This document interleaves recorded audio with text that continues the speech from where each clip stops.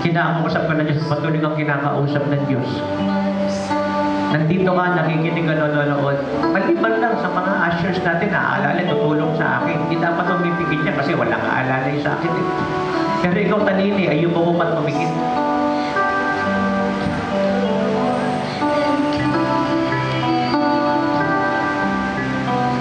At sabihin mo sa Panginoon, want to serve you more. Mas ito ang hangarin mo, hindi yung pagpapala, trabaho, negosyo, kausela, trabaho. Hindi yan eh, kasi maraming unbeliever meron yan eh. Come on, say it, I want to know you more.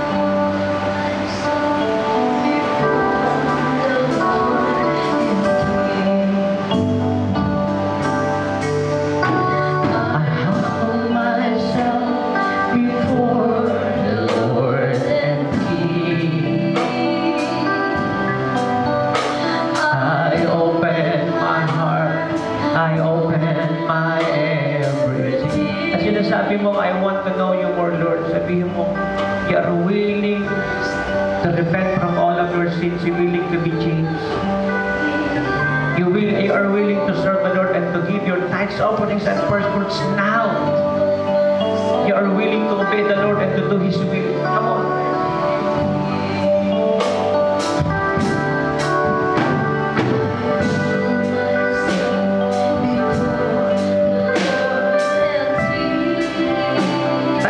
Come on. Dahil lahat na ito kayo, maging lahat ng mga nanginginig at nanonood,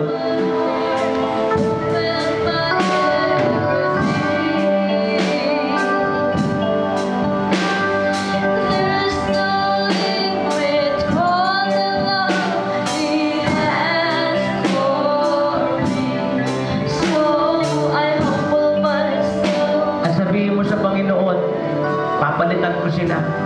Tatayo ako. I will evangelize. I will fast and I will pray. I will win soul. Ako'y aawit tutugtog.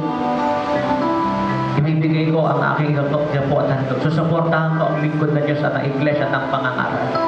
Susuportahan ko ang mandate. I will pray for the man of God and for the family. For his family and for the man. Sabihin mo. Sabihin mo sa Panginoon.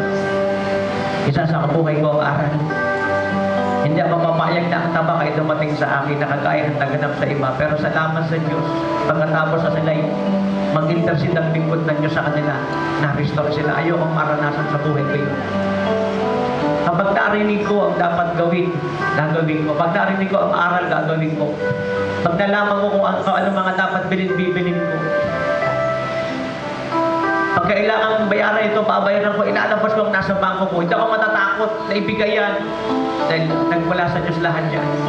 Pwede siya, may meron siyang karapatang kunin niya. At kayang ibalik ng Diyos yan, sobra-sobra pa. Sabi ko nga, kahit mamatay ako, ngayon nung mamaya, may papalit sa akin. Mas magaling at mas matapang kaysa sa akin. The mandate will continue.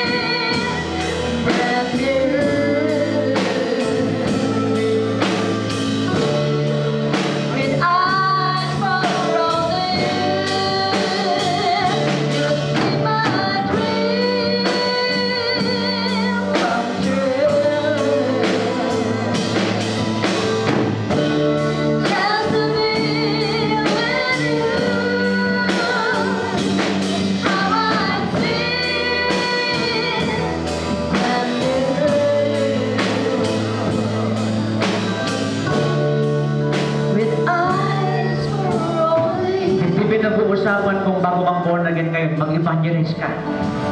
Itayo mo ang mga gawain ng Diyos ng KOJF, saan mang barangay, saan mang eskwelahan, saan mang opisina, saan bang bansang kinalalagyan mo ngayon. Ibigay mo ang tithes, offerings at first fruits. Alamin mo ang mga dapat bilhin, ang mga pangangailangan ng church. Ang magandang camera, ang bagong keyboard, ang bagong drums, ang pagpapaganda ng iglesyang ito. Suportahan mo. Sumama ka sa mga prayer and fasting. Sumama ka sa mga evangelism. Tumulong ka sa mga paganda ng Diyos. Magbigay ka ng oras. Tawagin mo pa ang marami.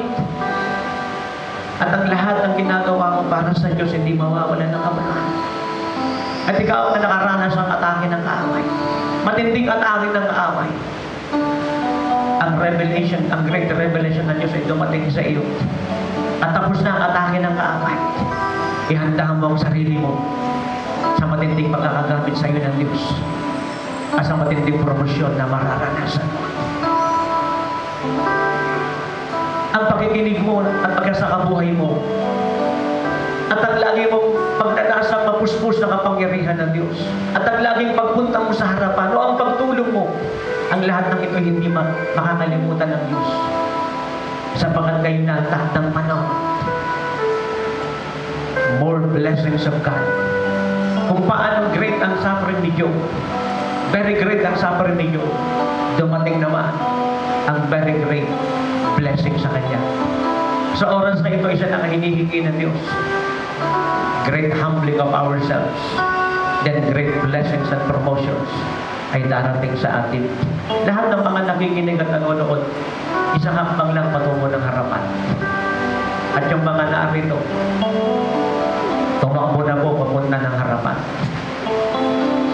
At hayaan mong patuloy kang i-bless ng Lord. At patuloy kang i-anoint ng Panginoon.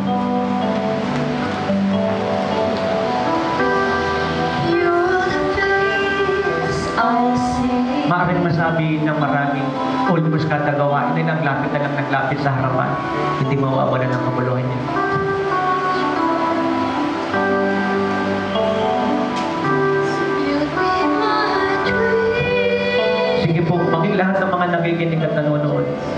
Isang hambang lang patungo ng harapan. Nakakakita ako ng healing sa paa mo eh, sa parting binti. Merong sugat yan, merong pagnataktak dyan. Ang kagalingan ay dumarating. Nandito ka, nakikinig at nanonood ka, sa bandang binti, may pagnanaknak. Nagpapagaling ang Diyos. Nakakakita ako sa parting kaliwang balakang, nagpapagaling ang Diyos. Nakakakita ako sa parting kanang puwit, nagpapagaling ang Diyos. Meron pamamaga sa kanang mata mo, nagpapagaling ang Diyos. Meron ako nakikita na pagkahingal, ang Diyos ay nagpapagaling. Meron pamamana sa pamamaga, ang Diyos ay nagpapagaling.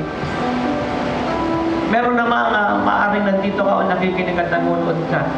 Ang obesity o ang sobrang katabaan, marahil nakikinig at nanonood ka ngayon, ang pinapag-pray mo, sumasayo ang kagalitan ng Panginoon.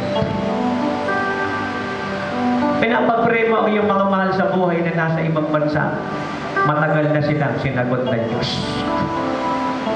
At ito ang sabi sa iyo ng Panginoon, hindi sila pababayaan ng Diyos. Hawak ng Diyos silang mga nasa ibang bansa. Ang masasabi mo lang at palagi mong sasabihin sa kanila, i-text tawagan mo, i-PM mo sila. Mahal ko sa buhay, suportahan ng lingkod ng Diyos. Bigyan ang pangangailangan ng Diyos. Ibigay natin ng maayos ang ating tithes, offerings at first fruits. Tuloy-tuloy ang ating pagulat. At gagamitin tayo ni Lord mightily effectively in this final hour. At kung nais mo pa na magamit ka ni Lord mightily effectively in this final hour, at kung nais mo pang i-bless at i-promote ka ng Lord sa pag-aaral, trabaho, negosyo, anak ko ay pag-abroad, ikaw na, na nakikinig at nanonood isang hakbang lang patungo ng harapan. At yung mga narito ay pwede tayong lumapit pa sa harapan. At magnasang sumunod pa ng malalim sa Panginoon.